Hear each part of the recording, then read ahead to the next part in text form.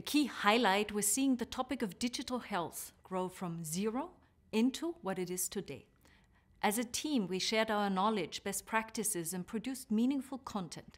This accelerated the understanding of the possibilities digitalization could bring for healthcare systems around the region for better patient care. Yeah, significant changes, I think I have to say, is the digital health. Uh, it's really disruptive to the way that we deliver the healthcare. And then more and more we talk about, you know, uh, moving from the clinical setting to the home-based care. So we can see these emerging topics around new technologies, right? Digital technologies. How can we then really accelerate the innovation?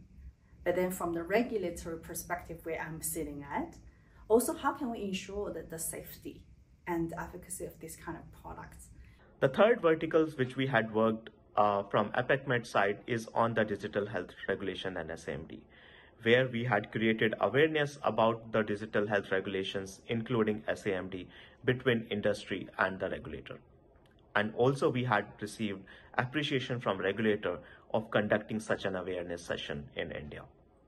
It's worth noting that APACMed uh, has recognized the benefit uh, of driving personalized medicine for the region Hence why the committee has opened a working group uh, specifically um, focusing on uh, addressing the access hurdles for next generation sequencing, which is a, a, key enabler of precision medicine. I'm super excited to actually think about what this committee has done at the end of last year.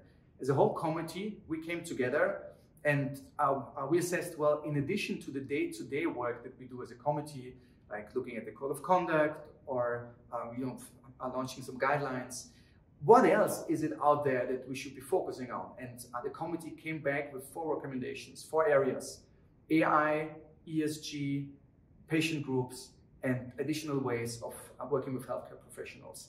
And uh, the working groups will now take those topics they will, in the course of the year, do some more research, fact finding. In the course of the year, actually report out on the findings and as well work with other companies of APACMed, like the Digital Health Group and the Regulatory Group, to make sure that this is not just a legal ethics and compliance uh, subject, but it's a broad subject that concerns the whole industry. So this will be a fantastic um, uh, moment, I think, for the, for the Legal Ethics and Compliance Committee to provide their value to the industry. It takes a village to deliver healthcare. So working with other players like AdvaMed, MedTech Europe, United Nations, WHO, everybody in the healthcare environment is going to be critical to improving the health of patients in the Asia Pacific region.